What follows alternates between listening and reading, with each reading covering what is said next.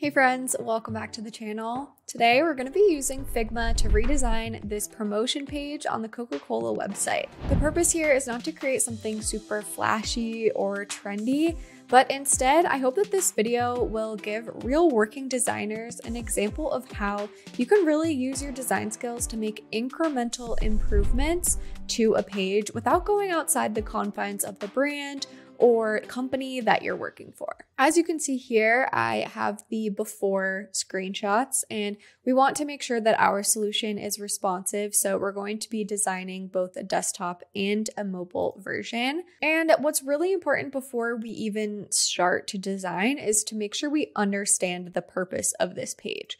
So in looking at this, we can see that Coca-Cola is doing a promotion with some pizza chains like Domino's, says Pizza Village here. And if we look into how it works, we can see that they're offering free pizzas and other pizza prizes, but the goal for them seems to be for as many people as possible to download their app. So we want to make sure that piece is really frictionless and we want to make sure that we're really enticing visitors to want to do that, want to go through the process of downloading the app, for the chance to win those prizes. So, with that in mind, there are five main things that we can do to really improve this page. Number one, let's take a look at the main copy here. So, let's just see how it reads Love pizza, win a pizza for the chance to win amazing pizza prizes with Coca Cola. This doesn't really entice me, and it also doesn't make it clear what I have to do for the chance to win amazing pizza prizes, like win a pizza for the chance to win. That doesn't really make much sense. So we're going to change that a little bit. So I'm just going down here to where I have the content from this page. And before we even start like actually designing, I just want to get sort of the hierarchy of this um, really in order. So love pizza, win a pizza. I think for this, the most important thing here is win a pizza. So let's get rid of this for a second. We'll add an exclamation just to make it more kind of exciting here.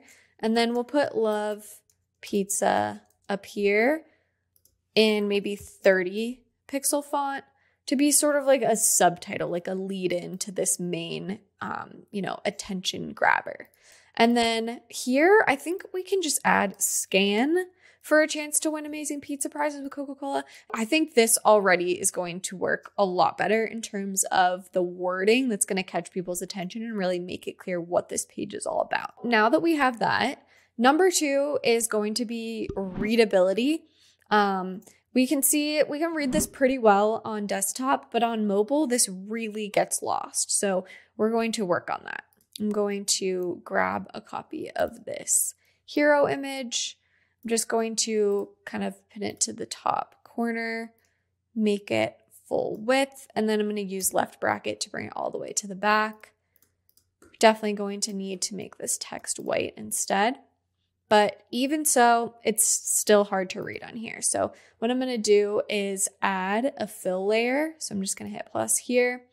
By default, Figma is going to give us a 20% opacity of black um, which is definitely in the right direction, but I'm going to do a radial gradient instead and just make this black at 0% to sort of fade it out. So then I'm going to make sure the darkest piece here is on the text, and then we can fade it out sort of to the middle of this. Um, and instead of 20%, I'm going to make this 40 so we can actually really read that text. I think that's a lot better. Okay, awesome. Now we just need to do something similar over here. So I'm just going to copy and paste this. And we're definitely going to need to crop this a bit. So let's go in. Let's get rid of the radial gradient because we're not sure exactly what we're going to need for this mobile version yet. And I'm just going to crop this to the size we want and then we'll move the image around inside of it. Okay, so it definitely needs to be a taller image since we're on mobile. And we definitely want to be able to see the pizza, but we also probably want to see a little bit of the Coca Cola branding. So something like this could work really well. Just kind of get rid of that dark line there. Okay, that's looking pretty good. Maybe we could do a little more of the Coca-Cola logo. Awesome. That looks great. So then let's bring this text over and we'll want to reformat it for mobile. So this is definitely too big. I'm going to make this biggest text 48, center it. We'll make this text 20, make sure we center it. And this can be 16. Centered.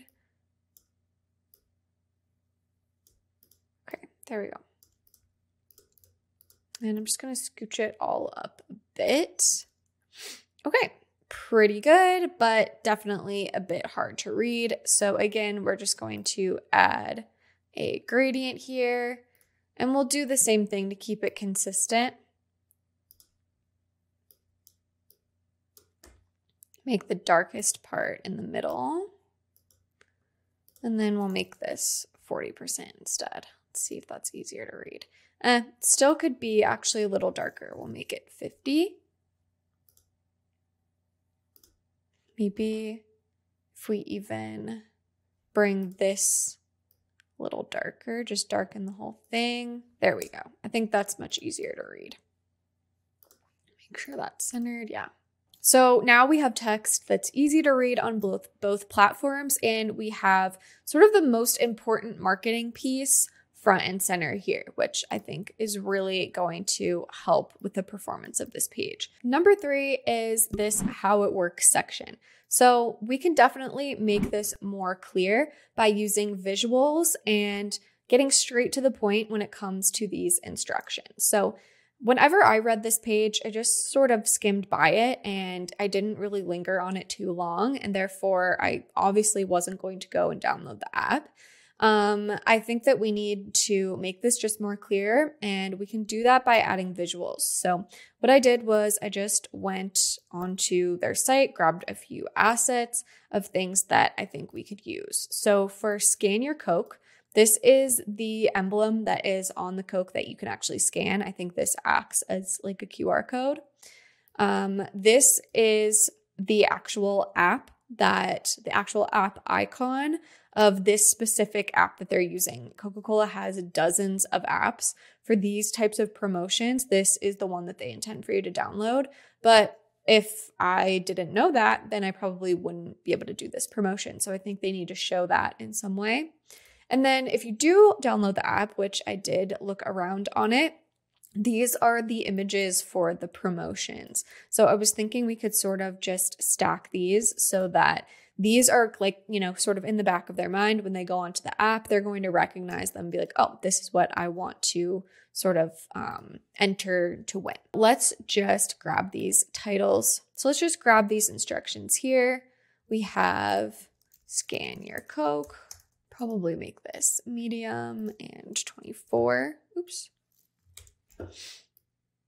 Just give that 20 pixels there. Download the app.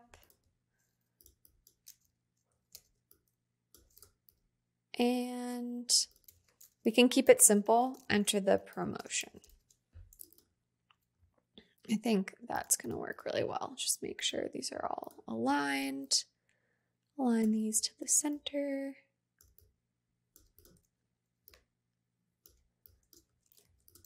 And then we'll group them together. Make sure this one's centered and distribute them evenly here. And we'll just add our title.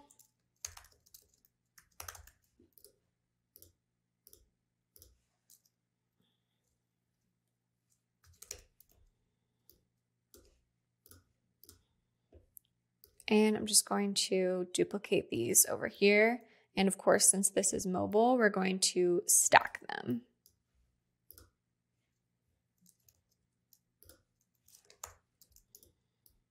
And we'll just make sure they're distributed evenly here.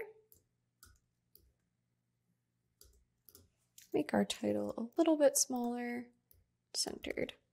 So that's number three. I think now these are much more clear. And I wanted to say, of course, we are focusing a lot on design decisions in this video, but if you want to get more in depth on Figma in general and how to use Figma to design professional websites, make sure to look at the rest of my content here on this channel, as well as my Figma course with Flux. So that will be linked in the description box below if you want to check it out. So let's move on to number four, which is really just adding visual interest. So we've done that a bit by adding these visuals, but how else can we bring in some more branded elements and just a little bit more sort of flair um, just to keep it feeling modern and entice people to keep exploring the website. So, one easy thing that we can do is just create some rounded edges on the bottom of our hero image. So, I'm going to do 40 pixels on each side of the bottom here. I think that looks nice. And I think 40 will work well on mobile too. Perfect. So that really just encourages scrolling as well because you can sort of see that there is more more to see when there's those rounded edges as opposed to just a flat cutoff. So that's kind of nice. And then I grabbed some more brand elements that I think we could use. So first, um, they use kind of like these bubbles. They don't look exactly like this, so I sort of took creative liberties, but I think that we could create a bit of a scroll indicator with these little bubbles. So what does something like that look like? Yeah, I think that's actually nice. Let's make sure that they're like really in line.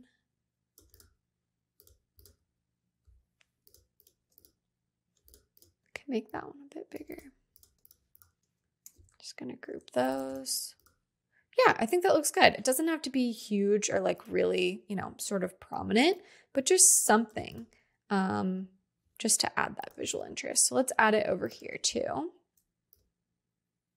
And then lastly, I did find this brand asset that they use. Um, this Coke bottle is like silhouette. And I thought it would be nice to sort of put this in the background at a low opacity, um, kind of just like this. Just to create like a little bit of a texture maybe in the background. So let's try that yeah, I think that's kind of fun. You could stagger them or make them like sort of perfectly aligned. And then on mobile, send it to the back with left bracket. And just sort of stack them here. Yeah, I think that's really fun that up a little bit. Okay, it's already looking a lot better. We have one more thing that I want to do, which has to do with this button here. So when you're on the site and you click download the app, it takes you to another page with the app on it that has these buttons. So in my mind, why make something two steps that could be one step? Let's just have these buttons here side by side, right under um, download the app. So that this is sort of the main CTA of this section. I think that could work really well. So let's just, yeah, we'll do 16, maybe 20 pixels in between these. Make sure it's centered. Perfect.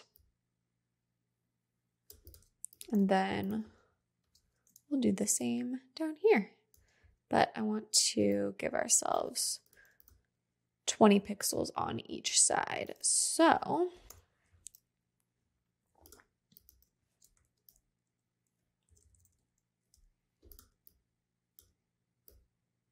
just make them a little smaller.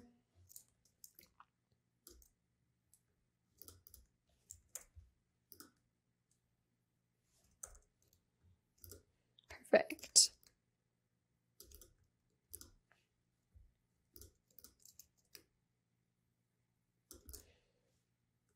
Okay, and then that becomes the main CTA there as well.